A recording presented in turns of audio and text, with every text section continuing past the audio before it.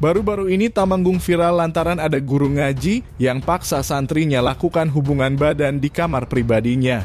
Adapun kronologi ruda paksa terjadi pada hari Rabu 21 Juni 2023 sekitar pukul 15.00 waktu Indonesia Barat. Pelaku mengajak korban berinisial W 11 tahun untuk belajar mengaji kiroah secara privat di rumah pelaku. Di tempat inilah aksi bejat tersebut terjadi. Satuan Reserse Kriminal yang memperoleh laporan tersebut lantas melakukan upaya tindak lanjut dan berhasil mengamankan pelaku tanpa perlawanan. Tapi, itu hanyalah oknum ya guys. Kita akan membahas kota yang dijuluki kota tembakau ini. Kota ini ternyata memiliki sejuta fakta menarik dan dikenal akan hasil pertanian dan perkebunan yang maju. Bagaimana kehidupan di Temanggung? Apa saja fakta yang menarik? Berapa biaya hidupnya? Tetaplah bersama kami untuk menguak lebih dalam Kabupaten Temanggung. Sebelumnya terima kasih yang sudah menonton. Yang belum subscribe, silahkan di-subscribe terlebih dahulu serta nyalakan loncengnya agar tidak ketinggalan video terbaru kami. Terima kasih.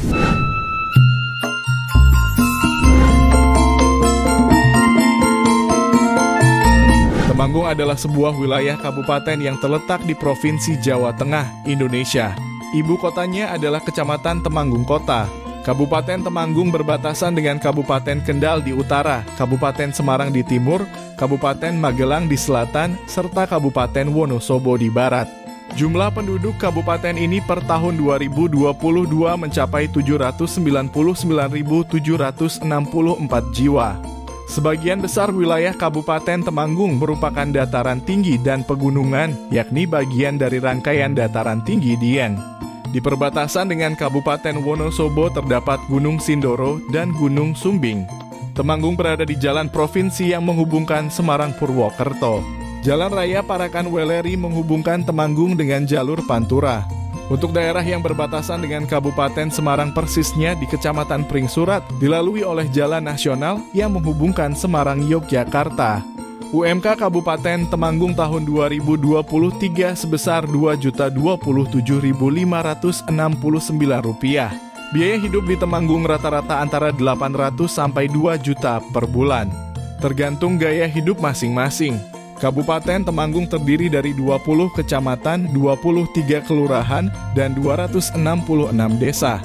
Temanggung adalah kabupaten yang mengandalkan sektor pertanian. Industri yang berkembang adalah industri yang mengolah dan mendukung pengolahan produk-produk pertanian. Industri yang menonjol adalah industri pengolahan kayu.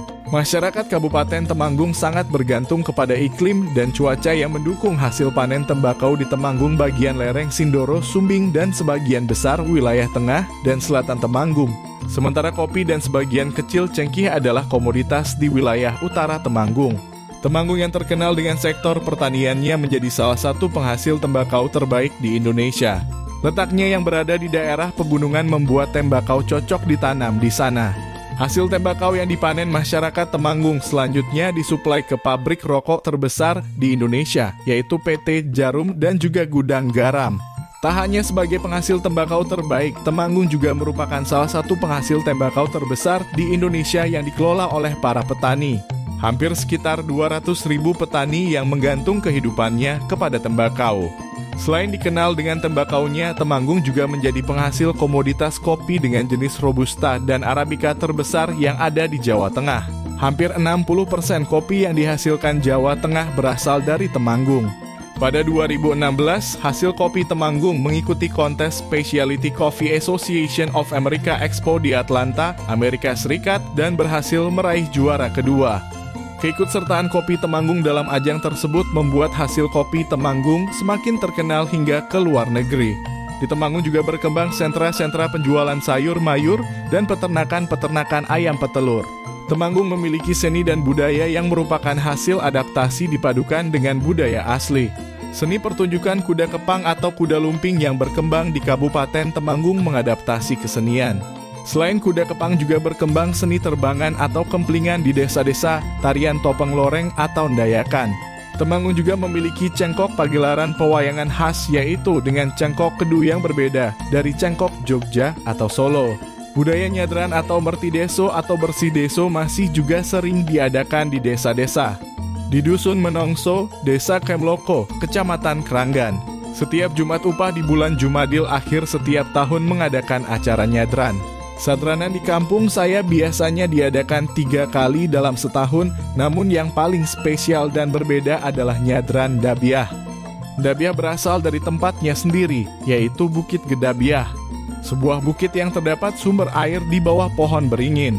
Acara tersebut digelar sebagai ungkapan rasa syukur kepada Tuhan Yang Maha Esa dengan jamuan makan ples penyembelihan seekor domba jantan. Penduduk desa membantai dan memasak di sana bersama-sama. Acara ini diadakan setiap hari Jumat pengupahan bertepatan dengan jam 10 pagi pada hari Jumat sebelumnya. Warga akan mengisi ruang dan membentuk barisan untuk duduk seperti pesta, sementara warga membawa berbagai makanan yang dibawa dari rumah. Acara diawali dengan pembacaan tahlil bersama yang dipimpin oleh Bapak Desa Menongso. Setelah itu daging kambing dibagi atau dibagi satu mangkuk untuk satu kepala keluarga dan kemudian semua makan bersama. Tak lupa ia juga menyantap makanan yang dibawa dari rumah. Warga juga memberikan makan kepada guava yang berasal dari luar dusun Menongso untuk menyaksikan acara tersebut. Suasana di sana sangat mistis. Karena tempatnya yang sangat subur dan penuh dengan pepohonan besar dan tempat tersebut sering disebut oleh masyarakat sekitar sebagai Padepokan Bukit Gedabiah atau Padepokan Madu Ganda yang dulunya digunakan sebagai tempat bersemedi oleh masyarakat sekitar Yogyakarta dan sekitarnya. Menurut cerita sesepuh desa pada suatu ketika ada orang yang menunggang kuda dari wilayah selatan melakukan ritual atau meditasi selama 40 hari 40 malam. Anehnya menurut cerita pria dan kudanya menghilang, tetapi setelah 40 hari pria itu muncul kembali dan turun ke pertapaan.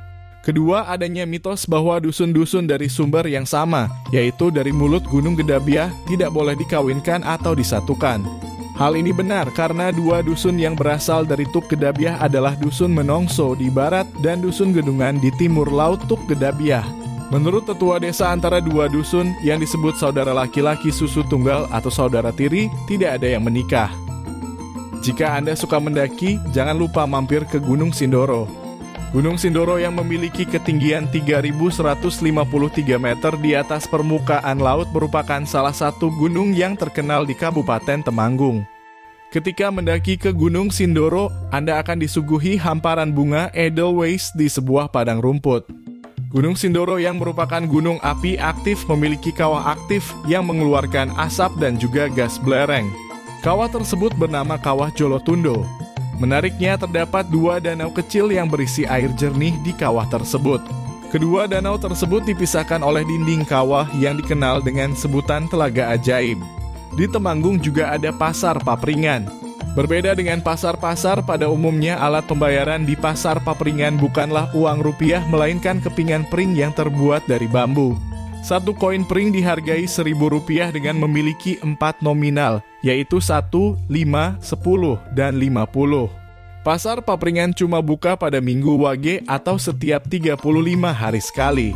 Kuliner asli hasil tani yang ada di pasar Papringan sangat terkenal karena dihidangkan hanya menggunakan daun pisang atau piring bambu. Di Temanggung juga ada situs pemukiman kuno yang terletak di Dusun Liangan, Desa Purbasari, Temanggung. Dahulu, situs tersebut terkubur di atas lahan pertambangan pasir milik warga sekitar. Keberadaan situs tersebut akhirnya diungkap untuk pertama kali pada 2008. Balai Arkeologi Yogyakarta sempat meneliti situs Liangan dan mengungkap bahwa tempat itu dulunya merupakan bekas pemukiman kuno yang telah berusia seribu tahun. Situs tersebut disebut sebagai tempat peninggalan kuno yang terlengkap karena ada sisa bangunan tempat peribadatan, potongan bangunan, sisa tempat tinggal, dan benda perkakas rumah tangga. Jangan lupa juga berkunjung ke Curug Trocoh Curug Trocoh di Wonoboyo, Temanggung menjadi salah satu destinasi wisata yang ramai akan wisatawan. Air terjun yang memiliki ketinggian hampir 120 meter menyuguhkan pesona keindahan yang menawan. Keistimewaan Curug Trocoh adalah lima tingkatan air terjun yang bersih dan segar. Jarak antara terjunan satu dengan yang lainnya rata-rata 20 meter. Curug yang dikenal dengan Curug Surodipo tersembunyi di antara dua pegunungan. Jadi pengunjung seolah-olah sedang berada di antara dua dinding hijau ketika sedang menikmati derasnya air terjun. Itulah beberapa hal tentang Temanggung. Apakah ada sisi gelap dan keunikan lain Kabupaten Temanggung? Berikan tanggapan Anda di kolom komentar. Terima kasih telah menonton, sampai jumpa di video selanjutnya.